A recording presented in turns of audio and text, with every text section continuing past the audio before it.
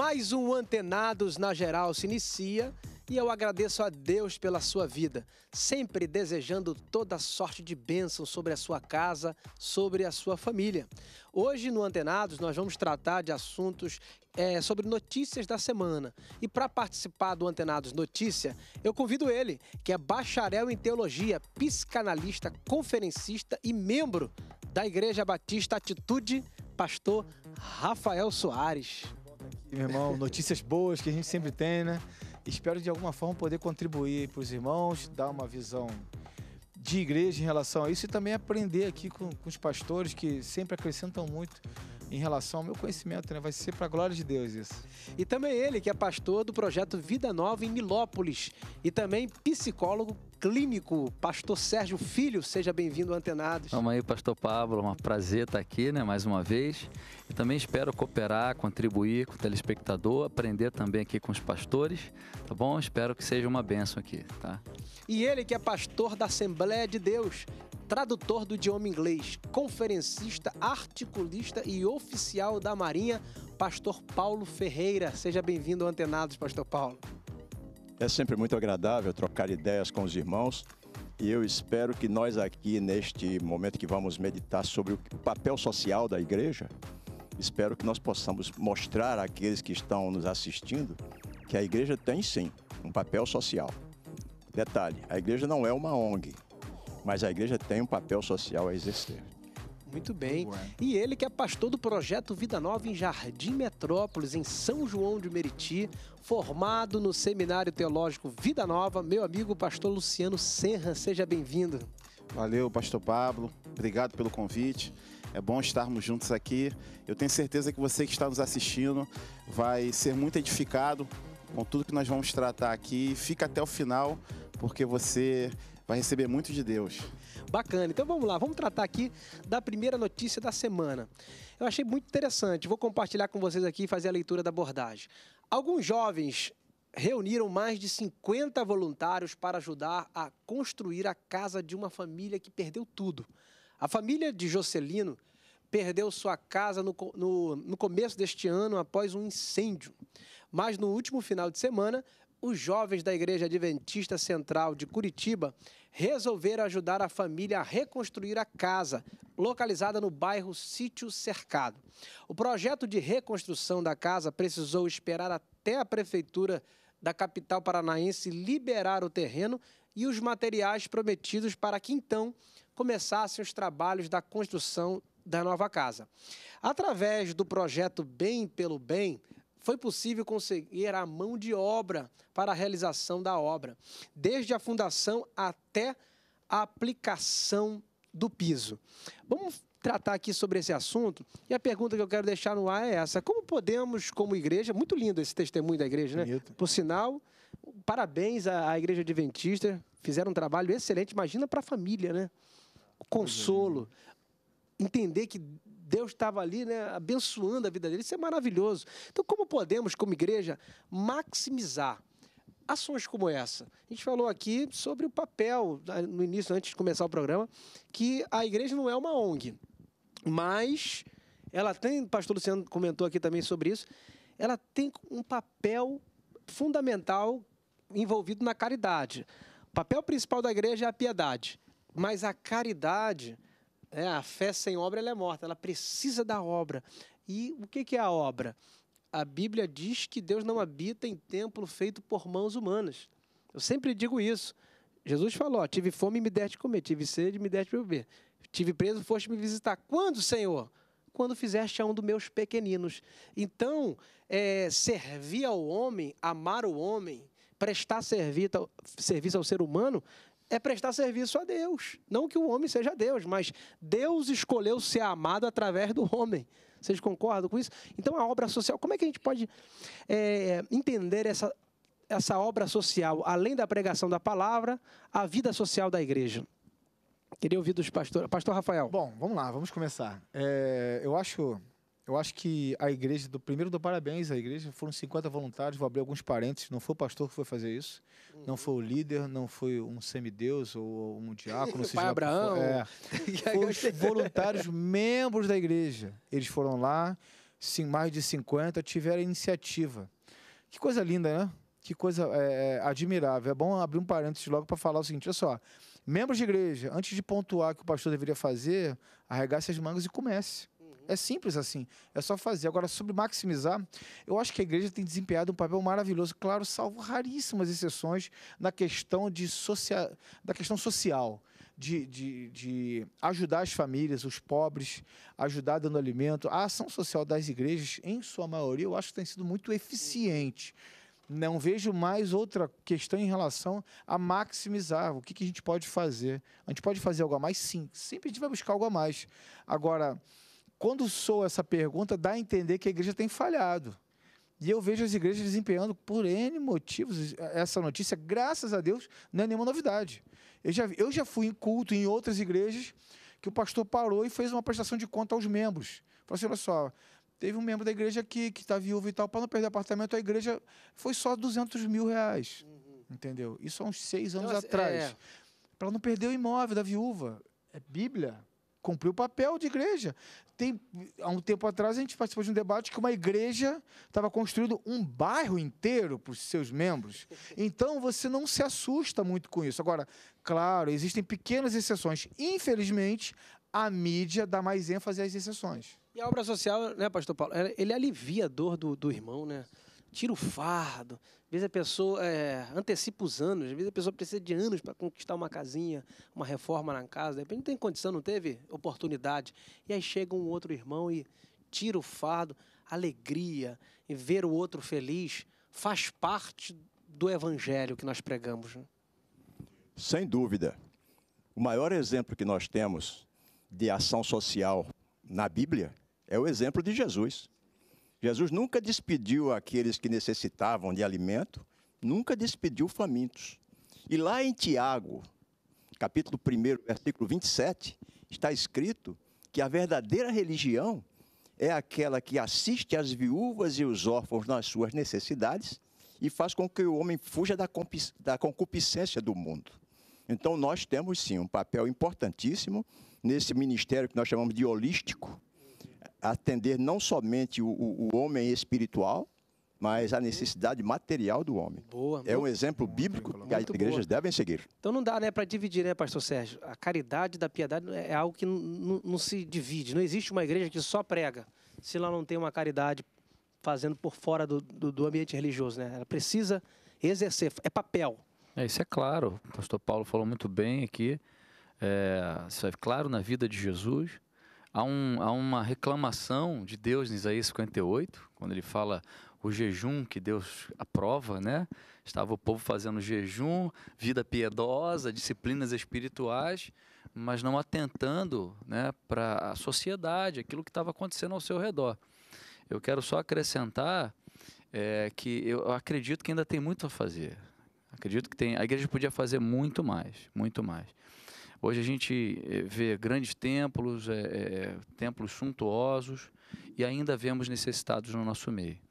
É, eu sei, a gente pode, além de, de dar alguma coisa, construir uma casa, é, ferramentá-los, ajudá-los, que eu acho que dar a eles habilidade, é, eu, eu, posso dizer também que é muito mais precioso, né, porque uma habilidade, Pastor Pablo, todo mundo pode te arrancar o que você tem, mas a tua habilidade vai com você para onde você for. Então isso é muito importante. Ensinar a pescar, né? Ensinar... exatamente. Ensinar o cara a pescar. Isso é papel fundamental nesse ministério global ou holístico, como o pastor Paulo falou muito bem demais, aqui. Né? né? Temos aqui o, o, erudito, né? O vernáculo, é? o vernáculo, do pastor Paulo é polido. Não é? Adoro. Então, eu concordo com o pastor Rafael, que ele falou sobre a questão da igreja. A igreja tem feito muito. É porque não é divulgado porque a igreja não faz questão de divulgar isso. Quem tem que é, ser assistido está sendo, e quem tem que ver está vendo. Mas a questão é, que a gente estava tratando aqui, como maximizar isso, né? ampliar essa questão. Nós começamos um trabalho social lá na igreja, e quando eu divulguei para a igreja que nós iríamos começar esse trabalho, voltado para a área do esporte, Hoje nós temos lá aula de jiu-jitsu, nós temos escolinha de futebol, nós temos balé. Já temos um professor de jiu-jitsu aqui, ó. Mestre, mestre. Mestre, mestre. E nós temos mais de 100 crianças e a grande maioria das crianças não são membros da igreja, mas muitos dos que já chegaram para o projeto, eu, algumas eu já batizei, outras eh, os pais têm dado testemunho da mudança espiritual que está acontecendo na vida dos seus filhos, mas eu trouxe, eu dei uma palavra para a igreja, que quando nós fôssemos começar esse projeto, que esse projeto não seria um projeto para abençoar a igreja, exclusivamente para abençoar a igreja. O projeto seria voltado para abençoar a comunidade. E aí você poderia se questionar, ah, mas pastor, e a igreja? Onde fica nessa história? A igreja faz parte da comunidade. A igreja é a comunidade. Então, em contrapartida, consequentemente, essa bênção ia alcançar a igreja, porque a igreja é formada por membros da comunidade. Mas eu queria trazer isso para a igreja, para que a igreja pudesse enxergar a necessidade da comunidade. Boa. E a maximização também, eu acho que também está na, na, insatisfação, na in, no inconformismo. Se o cara ficar conformado com o que ele faz, ele vai ficar satisfeito e não vai estender o braço mais adiante. Mas se ele ficar inconformado, nunca achar suficiente, pode ser também uma estratégia dele fazer mais, né? É. Pô, não tô, o que eu estou fazendo não é suficiente. Por mais que a gente esteja, fazendo, esteja fazendo. Não, não, a gente não muito. tem como se conformar, mas eu já cheguei quebrando essa ideia, porque chega uma hora também que tudo taca pedra na igreja. Olha só, a igreja está fazendo seu papel, sim. né? Agora, o próprio Jesus falou que os pobres sempre terão conosco. E a igreja de Atos 2 venderam seus bens para elas entre si, ninguém ter, né, todo mundo ficar no mesmo nível. É claro, se a igreja está no mesmo, não tem que todo mundo ter um mesmo nível financeiro, mas né, dentro da igreja, dentro da sua comunidade da fé, não pode ter ninguém passando fome. É por isso que toda a igreja tem que ter seu espaço para o social, para dar cesta básica, para dar uma assistência. Porque se a sua igreja não tem isso, ela não é igreja, ela é uma fraude. Essa é a minha perspectiva bíblica de igreja. Como é que você vai se considerar uma, uma igreja se você não tem como cuidar dos seus?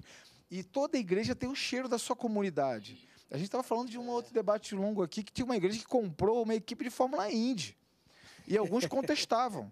Ah, mas podia é fazer. Milhões, né? Tem noção da comunidade que ela estava inserida? Tem noção de quanto ela arrecadou com isso? Porque você não pode você só botar uma marca. Você deve ter arrumado patrocinadores que deu muito dinheiro, que estabeleceu a igreja de Deus, estendendo a sua comunidade. A gente não tem como, é especulação, tacar pedra. Eu não vou ser mais um que vai tacar pedra nessa igreja, entendeu? Então a gente está atendendo a demanda da sua, dos seus membros, do seu corpo, com certeza ela vai se expandir e a sua comunidade vai sentir isso. E aí, quando você entrega o pão, você também dá a palavra. É, eu sempre digo o seguinte: que não adianta a gente ter uma confissão externa, teológica e doutrinária, se viver uma forma de ateísmo prático, que desbanca toda a confissão verbalizada e teológica. Né? Então, assim, uma pregação de, palavra, de palavras ela é evento se não tiver um testemunho vivo e prático, né? no dia a dia, uma coisa que confirme, que se materialize essa vida. Então, a obra social ela tem que fazer parte mesmo da vida da igreja. A gente vai precisar para um breve intervalo e você que está aí, não saia porque o Antenados volta já já.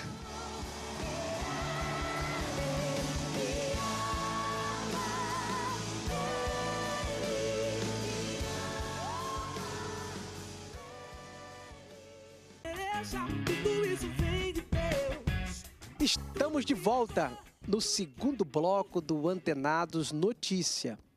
Hoje eu vou ler uma abordagem da notícia dessa semana, nesta última quinta-feira.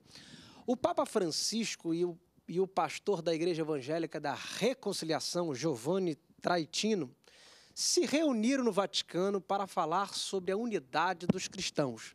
Assim que se reuniram, eles oraram o Pai Nosso e discutiram os passos para a unificação dos cristãos, católicos e protestantes. Hoje, divididos por tantas diferenças, o pastor reafirmou o objetivo da Igreja Evangélica da Reconciliação, que é reconciliar, reconciliar os perdidos, reconciliar os cristãos, reconciliar o mundo.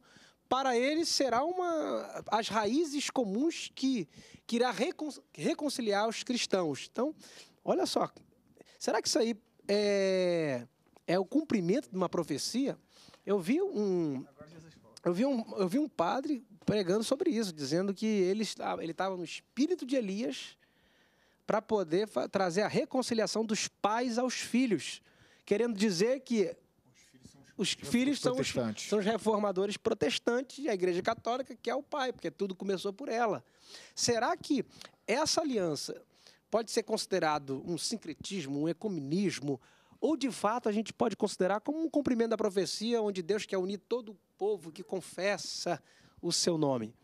Porque assim, a gente olha como um, um olhar dramático, que é de fato dramático, mas se a gente tentar olhar para dentro da igreja, tem várias denominações evangélicas que também parece mais uma igreja católica, sendo que nós somos uma dieta do catolicismo, né? A nossa estrutura é, eclesiástica tem origem católica. Às vezes a gente não adora o santo, uma imagem, mas temos um cantor, um pregador pastor. que adoramos. Então, assim, eu queria saber dos senhores, o que que vocês acham dessa reconciliação? Será que vai trazer prejuízo ou vai trazer lucro? Vamos lá, vamos, quem, quem vai se alistar? O, o, o, o ancião, o nossa, a nossa autoridade aqui, a, no- a nossa voz da sabedoria, Pastor Paulo. Não exagera. Eu penso que no Brasil essa ideia de ecumenismo não funcionará. Por quê? Porque nós, nós evangélicos brasileiros, temos muito arraigada em nós a ideia da denominação. Batista, presbiteriano, metodista, congregacional, pentecostal. Reunir este grupo já não é muito fácil. E se colocarmos na crista deste movimento a Igreja Católica, fica ainda mais difícil, porque, na verdade, as diferenças que existem entre nós evangélicos e os católicos são muito grandes. E o Papa, que é um, é um jesuíta, ele deve saber o que aconteceu durante a Contra-Reforma. E a história guardou certas, certos episódios que todas as vezes que se fala em ecumenismo, nós evangélicos imaginamos que a Igreja Católica quer voltar exatamente como a mãe ou como o pai, e nós como os filhos rebeldes que precisam voltar à convivência do pai. Aí que está Isso o é problema. hein? Aí que está o problema. A igreja messiânica, é, é, os judeus discípulos de, de Yeshua, de Jesus, também pensam da mesma forma, que como a- acho que a gente foi sofreu um desvio durante a caminhada que a gente precisa voltar à prática, não do judaísmo, mas assim, a- as raízes da fé também. Muito legal que o pastor falou, que né, a, gente tava- a gente sempre fala, crente adora falar que a igreja católica adora ídolos, adora imagem, outros deuses. E nós cristãos adoramos outros ídolos. Alguns ídolos são a sua doutrina, a metodologia, a visão, a denominação. Tem gente que tem grandes eh, Placa, é. reformadores que são seus deuses. As pessoas amam mais a sua doutrina que defende do que ao próprio Senhor. A- a- ama mais a sua bandeira do que a Cristo ou até o próximo. A Roma encrenca que parece que são inimigos só porque são de denominações que têm visões diferentes e não empregam o amor. E aí virou ídolos. Mas voltando um pouquinho para essa questão, é, nós não queríamos protestar, queríamos reformar. Então, a católica vai querer sofrer uma reforma? Ou quem vai sofrer a reforma são os reformados? Então não vai funcionar. É simples- esse comunismo e, e pode ser considerado até um sincretismo, né? Um sincretismo. Então não vai funcionar. Será que ele, será que o Papa vai assumir que ele é, ele é falível? Porque ele tem falar uma agora, é- infabilidade papal. Ele é Deus. Ele não falha. Ele é Será- representante, né? Do, de Exatamente. Deus na terra. entendeu? Porque tem, tem esses pontos Qual que a gente não pastor, apóstolo, ou, só- ou seja qual for outro acrônimo que vai ser utilizado, que vai entender que Papa não falha? Ou qual Papa que vai assumir que falha? Não funciona. Entendeu? Não, é É impossível. a Mariola, é, ma- É eles vão abrir mão de Maria? É, vão abrir mão de Maria. Bom, eu como Se cristão também não Cristo- abriria mão de Marília, não, porque eu acho que Maria é um exemplo. Entendeu? Ela não é um demônio. Não, é, mas ela Mas não é como, Deus. mas como intercessora? Não, é de forma alguma. Entendeu? É porque eu também crente adora tacar pedra na Maria, mas não tem nada com isso. Maria, eu não. Nada contra Não, Maria. Eu também não, é verdade. Vamos encontrar Eu Maria no entendi- céu. eu entendi Nós vamos você encontrar quis Maria dizer. no céu. Eu entendi que Mas como dizer. intercessora, Uma vez eu É. escrevi um artigo sobre Maria, teve um pastor que botou, nunca vi nenhum milagre de Maria. Eu falei, tá, deixa pra lá. É. E pastor Sérgio, o que que você acha dessa união aí? Você acha que é a volta de Cristo, é um cumprimento da profecia, é algo bom ou é algo inviável? É, é algo que. é- é- porque assim, a gente para para pensar, pô, a gente veio mesmo, teve uma origem católica. Será que não dá para resgatar os valores? É claro que lá em- começou tudo em Lutero, né? 1517, ali na, os pré-reformadores, John Huss, Savonarola e, e Wycliffe. Mas é, pô, a gente saiu por alguns motivos é, justos. Mas agora, depois de uma grande reflexão, passando anos e anos e anos, será que dá para a gente sentar com o Papa e chegar, olha só, abrir mão disso aqui, vamos para a Bíblia, vamos os dois para a Bíblia, vamos o, o protestante e, e, o, e o católico, vamos para a Bíblia e vamos tentar chegar num denominador comum, porque a gente também não, nós não somos donos da verdade, né? Tem muitos erros teológicos que a gente comete que né, a gente tem que abrir mão também dessas coisas. Só que às vezes o orgulho do homem não abre. Então o que, que você acha, pastor Sérgio? Acho tudo uma besteira. Boa, gostei A melhor resposta. Só. Quebrou, quebrou, quebrou. Quebrou a formalidade. besteira. Quebrou a formalidade. Sério, assim, para simplificar, é, não rola. A, a- a nossa A origem. questão política Eu vou falar pode por mim. É, política, sem dúvida, sem dúvida. Existe um movimento de esquerdização mundial, politicamente falando. Papa está envolvido hoje, este Papa está envolvido. No seu discurso você percebe.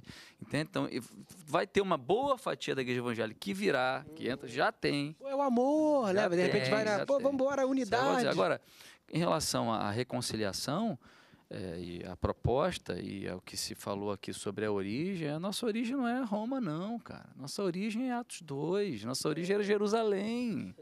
Então isso é uma falácia, sabe? A institucionalização. Essa igreja é constantiniana, não é nossa. E, e- assim, esse Papa, e o Papa, este não, o Papa, figura, ele não representa é, a nível divino, como delegação de autoridade divina, nada, porque ele quebra todos os princípios. Ele quebra os princípios da autoridade de Deus. Como o pastor Rafael falou, então, não, não, porque ele, se ele é o Papa, a gente submete a ele, ele é infalível, é Deus na terra. Não, não é. Nosso Deus é Jesus, ele é o intercessor, está à destra de Deus, o Pai, ele intercede por nós, e acabou, É. ponto final. Que eu vejo também, assim, que não sei se tem um orgulho no, no- no- no protestante, pastor Luciano, porque é mais fácil um católico cultuar numa igreja protestante do que um protestante chegar numa igreja católica e oferecer o culto. A gente encontra, assim, uma, uma certa, né, uma, uma certa porta, uma certa restrição, uma certa rejeição, assim como aconteceu é, o antissemitismo, né, uma rejeição pelos judeus, tem uma rejeição pelos judeus, a igreja católica gerou isso no inconsciente do povo, mas a gente também tem uma certa rejeição de ir numa igreja católica e chegar ali e ofertar o nosso culto a Deus. Você acha então que também concordo com os pastores que essa unidade vai ser inviável para o povo cristão no Brasil? Mais questões políticas mesmo, né? Parece que é isso. Ou é uma ou por trás disso tudo tem um grande demônio, um Satanás querendo uma- dominar o mundo, porque a maior população dos religiosos, quer dizer, do, do- do planeta são de religiosos, né? É, Pastor Pablo, só para não querendo dominar aqui, ó, mas é, é, em relação à organização, eu acho inviável, como o Pastor Paulo falou, inviável. Não dá para unir, Agora, né? nas relações, acho possível. E não tem a ver com o ecumenismo. Sim, sim. Nas relações, eu tenho amigos católicos que não, não Respeito, adoram né? Maria. Tranquilo. Tem uma consciência do evangelho padrão. E eu é entro, igre- eu entro, às vezes estou no centro da cidade, a primeira igreja que eu encontro normalmente é uma católica, eu já entrei inúmeras vezes, coloquei meu joelho e fui orar. Eu não orei aquelas estadas, eu No estava milho? Deus vem aqui, acabou. Me perdoe de água. Me perdoe no os milho? irmãos se eu vou no milho? escandalizar, no mas eu não terço. estou ali, É. entende, pastor? Não estou ali por causa de, de, de estátua, por causa do Papa, eu estou ali por causa de Jesus, eu É. só precisava de um lugar para adorar. E, e- eu sou templo do Espírito Santo. É, eu até essa experiência, pastor Luciano, tive lá no centro também, novo, Milho. Novo convertido, entrei na igreja católica, não sabendo muito a divisão entre uma coisa ou outra. Aí o padre chegou, olhou para mim, pegou um balde de água, pá, na minha cabeça, falei, que que é isso, cara? Tá com raiva de mim? Aí depois que eu vou descobrir que é, que é água benta, né, que eles jogam todo mundo lá. Até Funcionou? Deu certo? É, rapaz, eu, tô mais santo, tô me sentindo Ah. mais santo, né? Depois daquele dia. Entregou acho- melhor a unção É, dele. algo aconteceu na minha vida. A água tava que fria. Tava Dá um fria. negócio. Dá. Bom, a unidade, a gente tem que se voltar para Cristo, né? Cristo é o cabeça, a igreja é o corpo, né? O corpo de Cristo. Agora, a questão que você falou aí do, do por que, que nós cristãos não vamos numa igreja católica, eu acho que é por causa da, da, da vida que a gente está buscando, né? Eu quero vida, vida de Deus. Ação do Espírito Santo, Deus falando, o profeta de Bíblia aberta, pregando a verdade, falando de Jesus, falando do evangelho genuíno que salva, que cura, que liberta, que batiza com o Espírito Santo. Então, eu, vou- eu quero isso para mim. Então, eu vou numa igreja evangélica, É, eu sei- onde eu, eu- sei que, teoricamente, eu vou encontrar isso. A gente respeita todas as religiões, mas é verdade. O que, que a gente pode esperar dessa reconciliação? né? Olha, eu acho que não vai ter Não reconciliação. vai ter, Teve não uma- vai ter. É uma- só uma- um princípio. né? Teve, como o pastor falou muito bem, teve uma movimentação política voltada para um social que vai continuar uma relação harmoniosa. Agora, uma, uma relação religiosa é impossível. Eu também não vejo nenhum problema. Eu já entrei várias vezes, eu, an- antes de ser cristão, eu era católico. Não vejo nenhum problema nisso. Claro que eu não vou rezar mais nenhuma Ave Maria. E essa palavra reza já não entra no meu vocabulário, não funciona mais comigo. Mas é uma questão que vai ter de relacionamento. Eu não tenho nenhuma versão. Aliás, eu não tenho aversão a ninguém de outra religião, ao contrário. O amor que Deus tem por eles e pela alma deles é o mesmo que tem por mim. Né? No episódio da mulher samaritana conversando com Jesus, chegou o momento que ela descobriu que Jesus era o Messias e resolveu, descobriu que Jesus era um profeta e resolveu tirar com ele uma grande dúvida. Senhor, nossos pais adoraram neste monte e apontou para o monte Gerizim que estava ali perto. Vós, judeus, dizeis que não é no monte, é em Jerusalém que nós devemos adorar. E Jesus tirou a dúvida nem é neste monte, nem é em Jerusalém. A hora vem e agora é em que os verdadeiros adoradores adorarão ao Pai em espírito e em verdade. Por isso que eu acho perfeitamente natural que o irmão tenha entrado numa igreja católica, se ajoelhado e orado ao Senhor. Tudo bem. Eu, particularmente, não faria isso, porque, quer dizer, poderia até fazer, mas eu faço isso quando estou dirigindo meu carro. Eu faço isso quando estou caminhando pela rua. Senhor, estou aqui, estou precisando do socorro. Então, em qualquer lugar que nós estivermos, Deus está dentro de nós, é em espírito e em verdade. A reunificação do catolicismo com o protestantismo é muito complicada. Complicada é muito a união complicada. institucional. A relação, É. como o pastor Sete falou, entre seres A relação humanos. social é absolutamente normal. Social é absolutamente Absolutamente E normal. acredito, É. pastor, que você pode encontrar ali alguns irmãos, sabe? Realmente que, apesar de estarem ali, né, vivendo ali naquele sistema, tem Jesus como Senhor da sua vida. Não tem Sim, Maria, entende? Exatamente. Vamos para um break então. Tá bacana esse, esse foi, foi legal, foi interessante falar sobre a união da Igreja Católica com o protestantismo, mas vamos para um terceiro bloco. E você que está aí não saia porque o Antenados volta já já.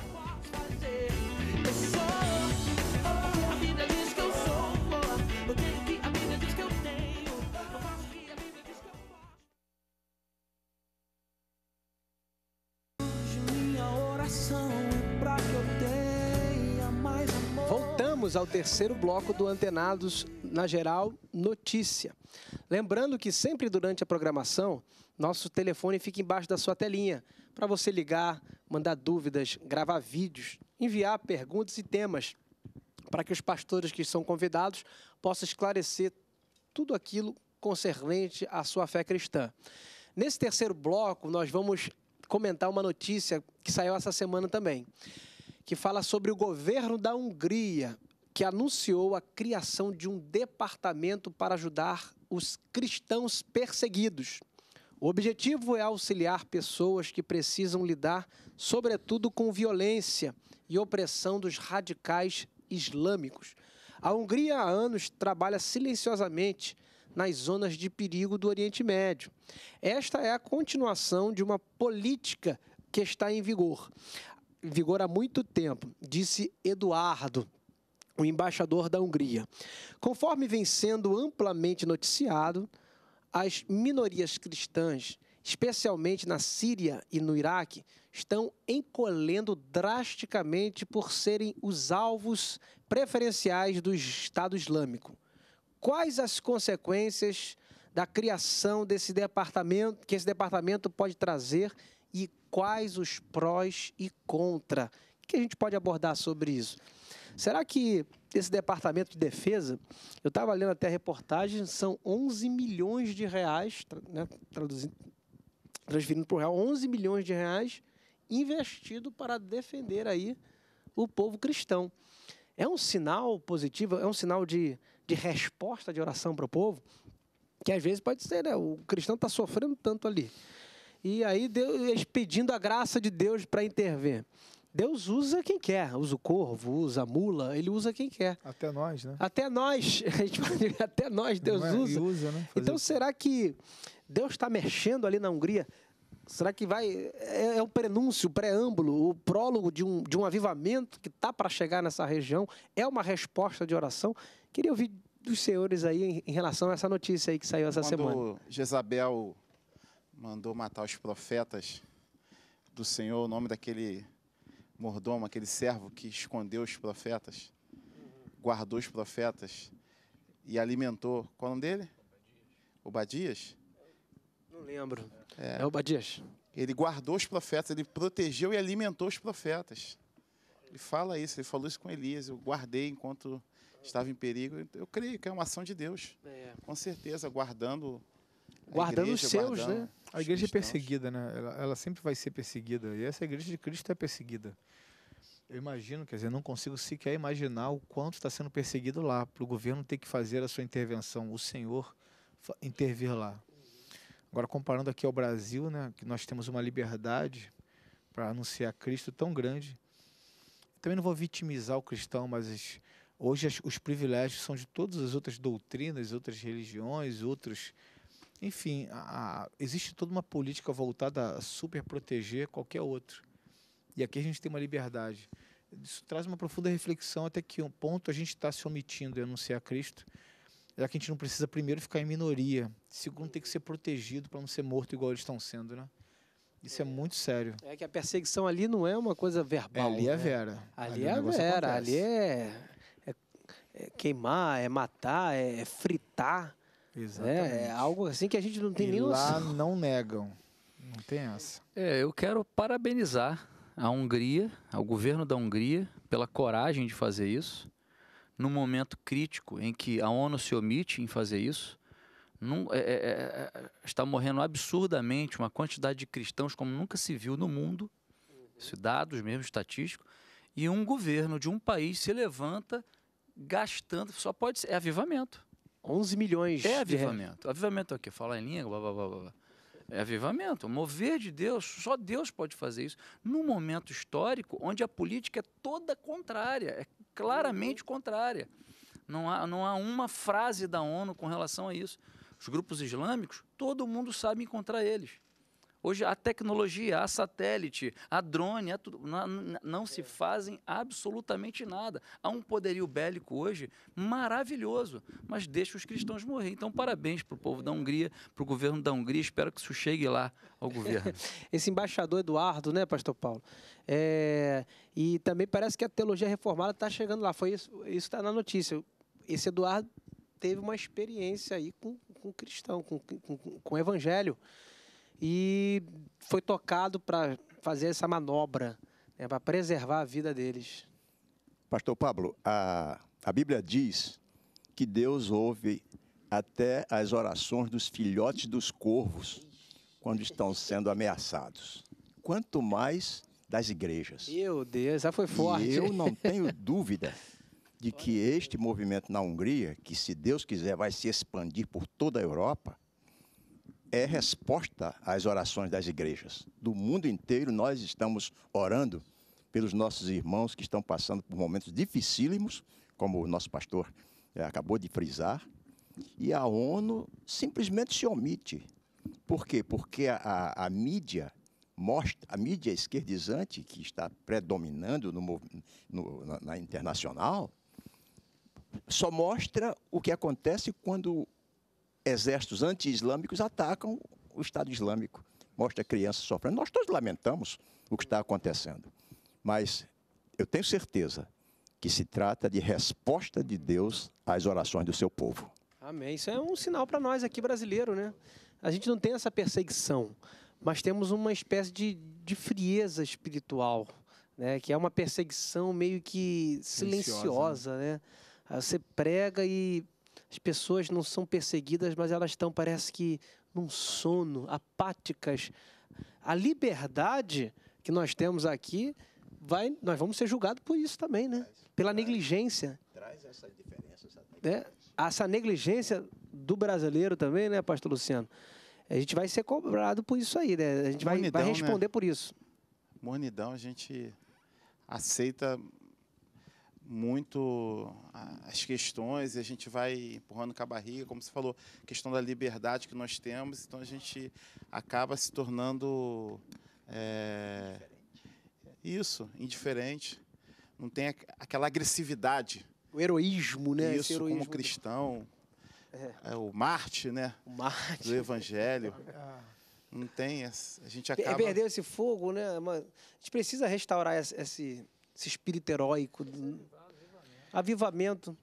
O avivamento, essa entrega, né? Essa, essa renúncia. Porque quando eu tô pegando onda, eu sou surfista, né? Tô pegando onda, muitas vezes vem a minha consciência me, me, me trazer essa culpa. Engraçado isso, né? Eu tento administrar ela, mas pô, tu podia estar pregando, tu podia estar evangelizando, tu podia estar sempre, sempre esse, esse conflito. E é claro que eu acho que é importante pra gente. É importante porque desperta, isso gera eh, dentro de nós a, o senso de, como é que eu posso dizer, de, de importância do reino de Deus. O quão o reino de Deus é importante para mim. Porque esses homens dão a vida. Eles não negam não, né? Diante do, Não negam da não. morte, eles, e nem conhece tanta teologia quanto a gente, não tem nem tantos livros, tantas bíblias quanto a gente, e tá lá, às Tem vezes conhece pedaços. só um, só um pouquinho de Jesus e aquilo já é suficiente para eles entregarem a cabeça para morrer por cães, touros, pisado por leões. Então, assim, é admirável esses homens. Eu vou, vou falar um exemplo que me veio à memória, que esteve as Olimpíadas aqui no Brasil e na minha igreja a gente hospedou lá muitos cristãos evangelistas que têm um trabalho específico para as Olimpíadas. E foram muitos atletas lá e tudo mais. Eu estou impactado com o que o mundo nos vê. A gente que está dentro não repara. Mas o mundo está numa expectativa do próximo avivamento ser aqui no Brasil. Porque o movimento evangélico no Brasil está ecoando para o mundo. Então estão todos do mundo focado, no, todos os cristãos do mundo focado no Brasil, na expectativa de um avivamento, porque eles estão impressionados com as igrejas aqui, não só pelos tamanhos, mas pelo volume, não, não é por isso, pela adoração. Olha, vou abrir um parênteses, né, porque avivamento na história do protestantismo, na história da igreja, teve diante de duas circunstâncias. Oração e palavra. Não estou falando de, de- de musicalidade, que eu também entendo que também é adoração. Mas pautado nessas duas bases, o avivamento real aconteceu. Então, o mundo inteiro está olhando para o Brasil. Nós temos uma liberdade extrema, alguns estão acomodados, precisamos de mais, o Espírito Santo nos toca, nos, nos constrange a fazer algo, e eu creio que vai acontecer algo. As pessoas da Europa estão buscando brasileiros para que possam lá testemunhar Cristo lá na cidade deles lá. E isso tem sido uma constante. Então, se a gente ficar atento ao que está acontecendo com o Brasil para o resto do mundo, olha, teve pessoas de outros países que chegou e falou assim, olha, numa igreja desse tamanho, numa igreja daquele lugar, igreja próxima, igual a gente tem uma da outra, na- no meu país, no meu estado, isso nunca aconteceria.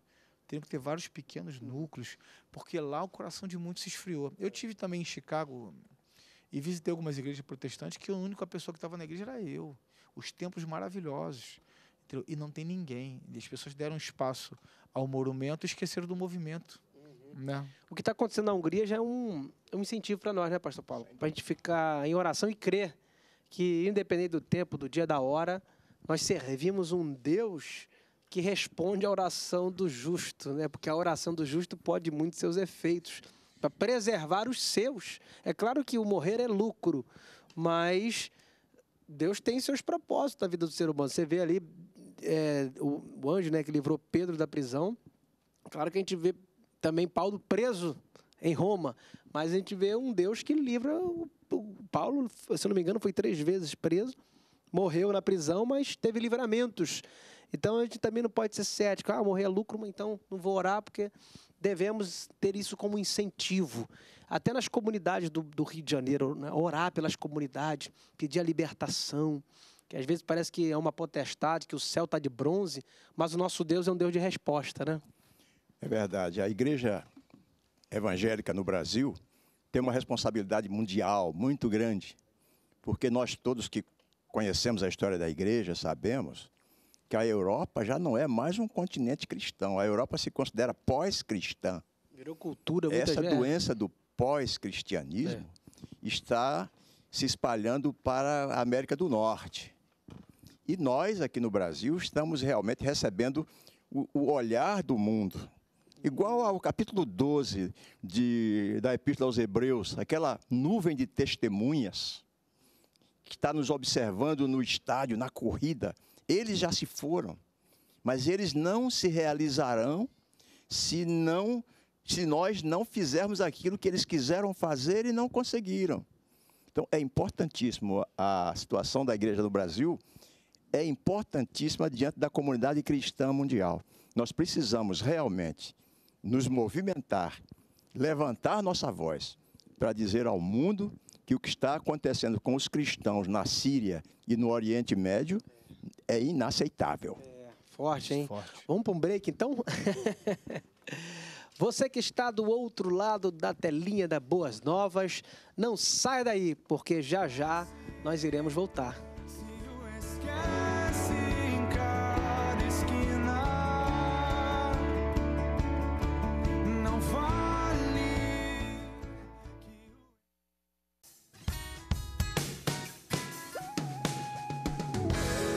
Estamos aí de volta ao último bloco, quarto e último bloco do Antenados na Geral Notícia. Essa última notícia é interessante, fala sobre evangelismo. Vamos lá. Algumas, alguns locais públicos do Belém do Pará estão sendo usados para uma campanha evangelística que tem esquecido Bíblias para que outras pessoas as encontrem. A proposta da igreja quad- quadrangular é espalhar a palavra de Deus pela cidade, incentivando a leitura da palavra. Quem encontra as Bíblias perdidas encontra também um bilhete que diz: Esta Bíblia não está perdida. É um presente para você receber com muito carinho.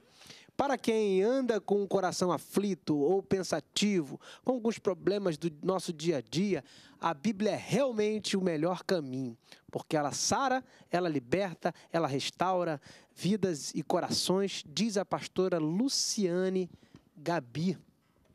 Essa estratégia é válida ou é uma falta de reverência com a palavra? O que, vocês acham?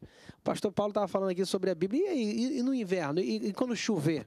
Sabe que eu tenho uma Bíblia que é a prova d'água. Eu tenho uma Bíblia que. Pastor do surf tem que ter Pastor do surf tem que ter uma prova Bíblia à d'água, prova né? d'água, né? Agora, o que, que vocês acham de uma pessoa andar na rua e tal? Eu sei que aqueles, os folhetins também pode ser instrumento também de, né, de, de bênção na vida de muitas pessoas. O que, que você acha, pastor Sérgio? Essa é uma ideia que eu gostaria de eu ter tido ela.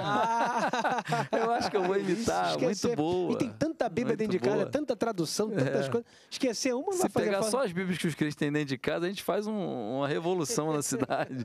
Eu quero parabenizar essa irmã, né, Luciane Gabi aí. Também A acho iniciativa linda. Top, né? E, olha só, é, qualquer método que possa anunciar Cristo como o único suficiente Salvador é válido. Tem como distribuir Bíblia? Distribua, deixa uma mensagem carinhosa lá dentro. Que coisa linda. Imagina só, agora eu acho preocupante e eu acho que vai, vai haver muita conversão, porque o camarada que vai achar uma Bíblia para pegar para ela é complicado, né, irmão? É, meio- é como se o camarada, enfim. Mas ele abrir a Bíblia e ser surpreendido com o ato desse de amor, a palavra que produz vida, que dá o caminho para a salvação, não é a palavra. A Bíblia não dá a salvação, dá a salvação é Jesus Cristo e ela te dá a direção para ele, né? Então isso é fantástico, show de bola. É, E o cara que deixa ali, ele não, ele não perde, ele ganha, né? Ele tá Com ganhando a certeza. oportunidade de ser um doador. Maravilha. A semente está sendo plantada. Uma semente né? está sendo plantada no coração de O alguém. tempo certo, E meu a irmão. palavra é a preciosa semente. Na verdade, não é a Bíblia perdida, ela achou o perdido, né? Ou o perdido se achou na Bíblia. É uma Bíblia perdido, pronta para né? ser achada, né, pastor Paulo? Concordo plenamente com a estratégia, é perfeitamente válida. Eu só queria mandar uma mensagem de parabéns para esta igreja, para esta irmã que está liderando o movimento, e só lembrar aqueles que não frequentam os mesmos lugares, ou seja, não, não repetir a operação nos mesmos lugares, porque daqui a pouco vai ter gente com duas, três Bíblias. Vai botar para vender, vai montar uma banquinha. Botar a banquinha de venda de Bíblia. Temos que ter cuidado porque realmente a palavra liberta. E se ela puder expandir esse movimento para outras cidades e para o interior da Amazônia, onde ainda há muita carência, eu conheço a Amazônia, eu passei alguns, alguns meses no curso de operações na selva do Exército Brasileiro. Isso, que eu vi isso, coisas incríveis, vi lugares que não estão em nenhum mapa, onde as crianças eh, me ensinaram a remar. Me ensinaram a remar, eu que sou da Marinha, eu remo sempre na popa do- da, da canoa e eles remam na proa. E eu, eu ria deles e eles riam de mim, depois entendi. Quando eu fui entrar naquela floresta remando na popa, não consegui aprendi a remar na proa e não na popa. Então, leva a palavra, irmã. Continua levando a palavra porque ela resgata. É forte. E procure alcançar mais gente, o máximo possível. Que Deus É, abençoe essa o- igreja e essa irmã. Amém. O meio não convencional, é, ele nem todos os meios não convencionais são sadios, mas assim, esse meio, por exemplo, que o meio, o meio ideal é você chegar, discipular, Falar conversar, Cristo, falar né? do amor de Mas esses meios, assim, Eu acho que também é são válido. muito válidos, né? São, são bastante considerados. Eu acho que todo meio é válido. Eu acabei de aprender o que é pro e popa, tá vendo? É. Coisa linda, maravilha. Não sabia nem o que era isso. Pastor, com excelência né, no, no evangelismo, né, já deu até a dica da planta aqui, não repete no mesmo lugar. Operação, né? É, é lá. técnico, Então, operação. então Operação, deixar, é. de- Tá deixar a Bíblia no chão não é uma falta de referência, né? Porque às Ao vezes a pessoa. Eu, eu, no início da minha conversão, sempre tive isso, assim, essa, essa coisa do, do zelo, né? Eu vi um folhetinho no chão, falei, não, não, a palavra de Deus não pode ficar no chão, não. Aí eu pegava, botava no bolso, fazia outra coisa. Então, deixar no chão não é uma falta de referência, pode ser uma estratégia mesmo, né? De repente, É uma- bota na mesa, né? Bota na mesa, bota em algum lugar. Que seja palpável, né? Fácil. né? Falta de reverência é você ler e não aplicar aquilo na tua vida. E você falar o nome de Deus em vão. É, é, é a É pior reverência é essa, né? O cara não. a pior não falta de reverência é você conhecer, ser conhecedor da palavra, ler e não aplicar. Você é religioso, né? Não toca aí na Bíblia, fica lá no Salmo 91 aberto. É, É, a palavra de Deus. Mas não vive nada, não vive Sabe nem o que nada. está escrito ali. É essa né? distribuição, a gente precisa investir mais nesse evangelismo de impacto. Eu, particularmente, admiro muito o evangelismo pequenos grupos. Eu vejo muito, muito, muito, muito resultado, muita eficácia, né? muita eficiência. Mas o evangelismo de impacto, a igreja não pode perder. Né? Porque a gente encontra É. a marca do evangelismo de impacto muito forte na história da igreja. É claro que o resultado não é instantâneo, a gente não consegue enxergar ali. Mas a igreja tem que andar com os dois tipos de evangelismo, né, pastor Rafael? o evangelismo tradicional, por exemplo, distribuição de Bíblia, sinais de trânsito. A minha igreja é uma igreja de visão celular e ela tem como base a visão celular, primeira comunhão e evangelismo, não na ordem de necessidade, mas é comunhão e evangelismo, propósito evangelístico. Nós, nós temos que respirar um propósito evangelístico, nós temos que dormir e acordar pensando a quem você vai anunciar Cristo. Porque a gente tem que questionar nosso cristianismo se a gente não fizer isso. Né? Se acordar só para si é estranho, né? E claro, e o evangelismo que a gente vai, e seja nas ruas, poxa, essa ideia é uma ideia boa, né? Vou pegar emprestado e talvez devolva um dia, entendeu? Só vou manter a autoridade dela, a É, auto- né? a autoria dela. E são, são os evangelismos que a gente faz. A gente tem que ter todos os métodos possíveis. A gente tem que aplicar a Cristo, tem que anunciar, seja lá onde for, É. como for. Tem né? feito lá? Como é que tem sido o evangelismo lá, pastor? Normalmente nossos evangelismos lá são assim criativos. A gente tem o evangelismo mais convencional, mas tem uma galera lá muito fera que tem malabares, a galera da arte, mistura arte, juventude. No projeto Vida Nova, né, Pastor Luciano, a gente tem o bloco Cara de Leão, né? Também no Carnaval é, uma, é um evangelismo bem interessante. Tem Cemitério. no cemitério também, dois de, eh, de finados. O cara chega lá, pô, ih, vou, vou pular esse carro quando chega lá, meu. É, Pega. é, é. Joga, joga, joga a rede. Lá em Nilópolis a gente passa. ah, no- tem um dia lá que a Beija-Flor desfila no meio da. na, na, na pista principal, né, na rua principal da cidade, no coração da cidade, e a gente passa antes dela. Então, é uma baita oportunidade. Há oito anos a gente faz isso.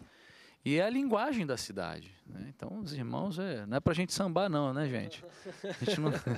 Faz uma leitura do contexto. Exatamente. é, exatamente, uma boa. Tem feito lá também, pastor? Não, o nosso trabalho lá evangelístico é com os grupos familiares, os grupos pequenos, né? Que eu entendo que tem uma eficácia muito grande. Que aí você traz para a linha do evangelismo pessoal, que é o slogan de uma marca aí automobilística que eu vou citar aqui, vocês vão lembrar. Você conhece, você confia. Você conhece, você confia. Essa é a marca É. de uma. É de... De Automóvel. automóvel, né? É de da automóvel. Volks. Ah, Você conhece, você confia. esse é. Então, eu tenho estimulado os membros a estarem fazendo esse tipo de evangelismo, evangelismo pessoal. Ganha primeiro para você, ganha para Jesus, depois tu ganha para a igreja. Muito boa. E Você- a gente tem você- investido nessa estratégia, como o Projeto Vida Nova trabalha. E A igreja Atitude trabalha com a, na visão celular, nós trabamos- trabalhamos dentro da visão dos grupos familiares, grupos pequenos também. É o... Só muda a nomenclatura, mas o sentido É sempre é, a o mesma mesmo. coisa, o foco sempre é o mesmo. Sem dúvida. A pregação do Evangelho é algo que nós devemos fazer em todo momento. Porque eu digo sempre isso na igreja. Cada um de nós tem uma tarefa como evangelista. Nós todos somos evangelistas. Cada um de nós tem uma tarefa. E é muito importante que eu saiba qual a minha, você saiba qual a sua. Você, meu querido irmão que está nos ouvindo, descubra qual é a sua. Porque somos todos evangelistas. Qualquer método é válido. Pregar a palavra em tempo e fora de tempo. É, a grande comissão é para todos, né? É, Independente do cargo exceção. eclesiástico. É todo Toda aquele que se diz cristão e de pregar o evangelho e fazer discípulo. Agora, pastor Pablo, pastores, é, eu acredito muito que a, a metodologia, a- ou seja, a diferença não, não está na metodologia. né? Eu lembro daquele texto quando Jesus fala que esta casta não sai senão com oração e jejum. E os discípulos, com o poder que eles tinham, com a revelação que eles tinham, não conseguiram expulsar. Outrora, outro nível de demônios, eles haviam conseguido haviam ficado felizes, mas aquela não. Então, eh, traz para nós uma realidade de que a metodologia não é a diferença. O que é que Deus tem para nós naquela cidade? Eu acredito que a estratégia vem do Senhor, a, a- leitura que você diz que a É. gente tem que fazer. Olha, eu quero agradecer muito a presença de vocês, pastores. Edificaram muito a nossa vida, a vida dos nossos ouvintes. E você que está aí, creio que foi muito edificado. Deus te abençoe, um bre- um beijo grande e até a próxima!